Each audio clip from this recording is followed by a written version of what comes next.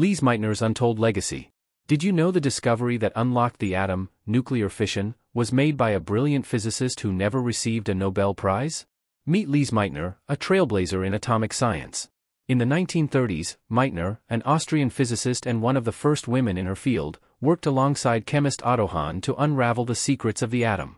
But when Nazi Germany annexed Austria, Meitner, a Jewish scientist, was forced to escape to Sweden. Even in exile, her brilliance shone through.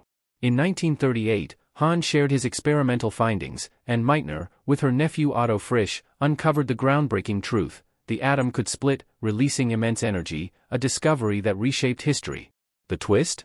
In 1944, the Nobel Prize was awarded to Hahn alone, leaving Meitner's pivotal contribution unrecognized, likely due to the prejudices of the era.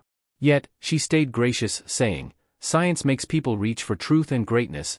Today, Lise Meitner is remembered as a symbol of perseverance and brilliance, a legacy far greater than any award. Subscribe for more inspiring stories of remarkable people who changed the world.